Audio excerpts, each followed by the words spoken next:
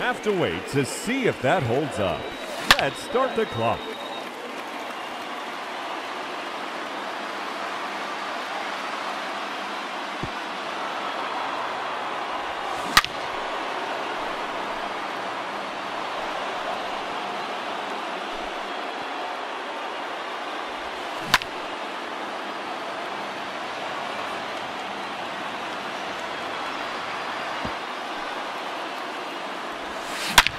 Thirty seconds left. No question about that one.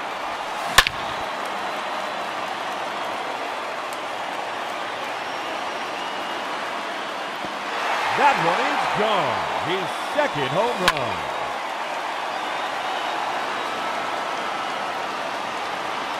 His third consecutive home run.